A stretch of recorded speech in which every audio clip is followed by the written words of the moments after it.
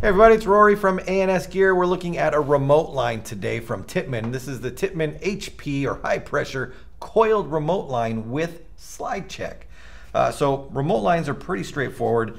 We've seen a, a, bunch of different variations of them, some with a straight cable, some with a coiled cable, some with the micro line cable. This is a coiled version, so it gives you some of that stretch that you're looking for, uh, but still keeping it in a nice compact little setup. Now, uh, if you're not familiar with a remote line, what is a remote line for? Why would people be using a remote line? So typically, you'll see remote line setups for people who are playing longer games, woods ball games, scenario games, where you might be out in a game for a half hour, 45 minutes, something like that. And a lot of people want to take the weight of the gun and try to mitigate it as much as possible, try to, to make it as light as possible since they're going to be carrying it around for quite some time. So one way to do that is to get the tank off of the gun and move it maybe towards a pack or a harness or something on your back. And to do that, we use a remote line. So we've got uh, the MG100 just here as a, a just a demo gun, a tank, basic tank right here to show you how a remote line works. So there's a couple components to the remote line. There's the um, the on-off portion this is actually called a UFA. This is a universal fill adapter. This is where the tank is going to screw on. So this would screw on right up here, and this would then control the gas coming out of the tank. So we're going to take this, and we're going to just thread it right on. Now until I screw this piece down and into the valve assembly, no gas will come out. I turn this, this will gas up. I'm pretty sure there's no gas in this tank. I know there's not. So right now, gas would be on and gas would be flowing into the remote line.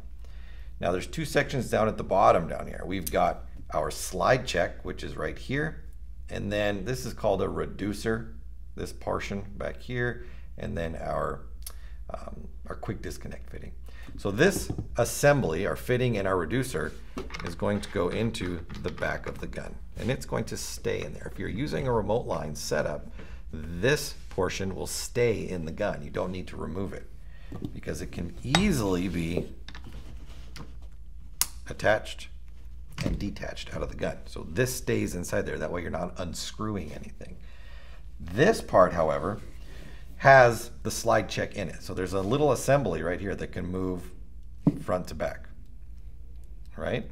And this controls the gas flow out of the end right here. We've already turned our valve on, so air is coming through, through the coils, and then to here.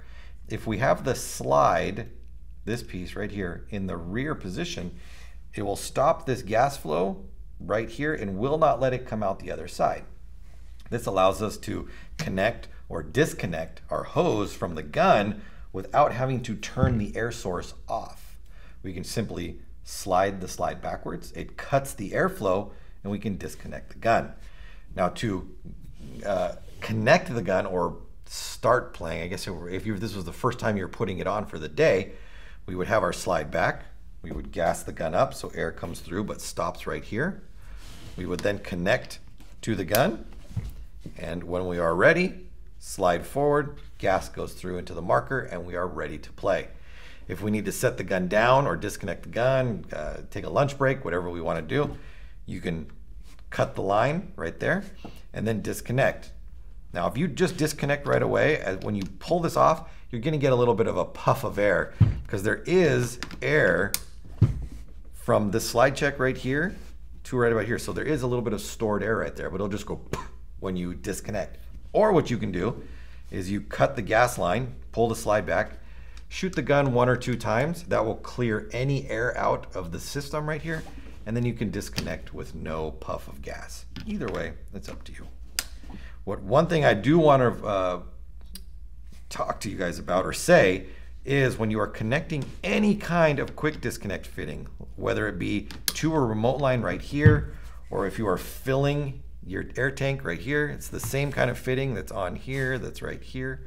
You want to make sure that the collar snaps into place. I pull the collar back, slide it on, and then I want to hear that snap.